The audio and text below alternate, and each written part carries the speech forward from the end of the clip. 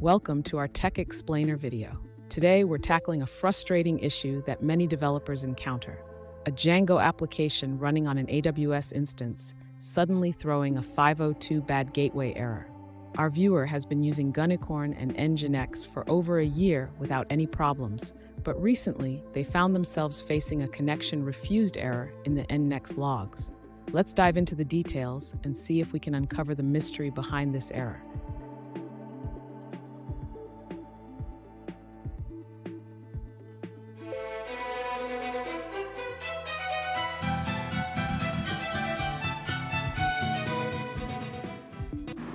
Welcome back guys to another technical help question. I'll be going through the question, the answers, and hoping to help find that answer. Guys, I hope you stay crazy just a little bit like me and get through and work to the solution. Now let's get started.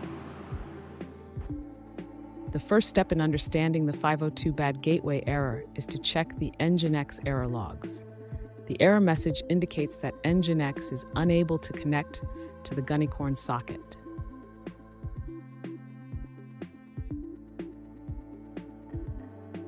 This error typically occurs when the Gunicorn server is not running or has crashed. To verify if Gunicorn is active, you can check the status of the Gunicorn service.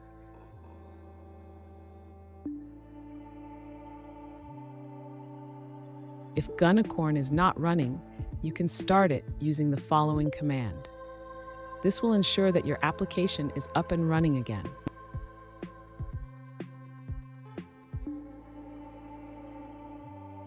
Another common reason for this error is a misconfiguration in your Nginx or Gunicorn settings.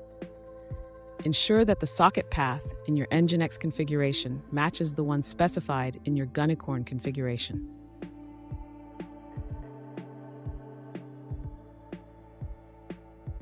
Finally, if you have made any changes to your application or server, remember to restart both Nginx and Gunicorn to apply those changes.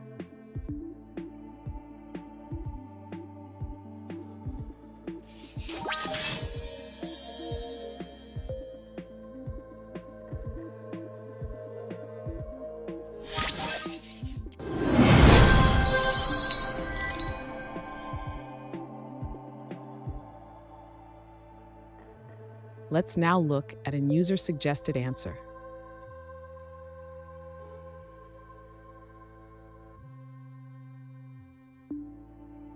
To fix the connection refused error in Django with Gunicorn and Nginx, try removing HT from the proxy pass in your Nginx configuration.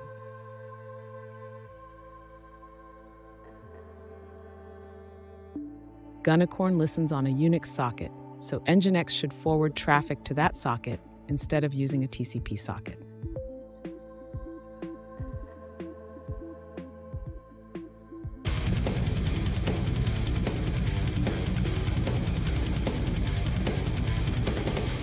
Let's now look at another user-suggested answer.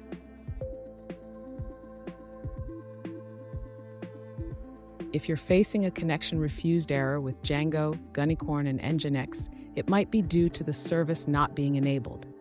A simple fix is to run a command to enable the Gunicorn service.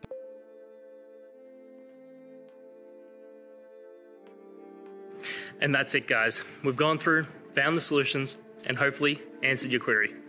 If it did, please hit subscribe. I really appreciate it. And until next time, hope you have a good one. Cheers.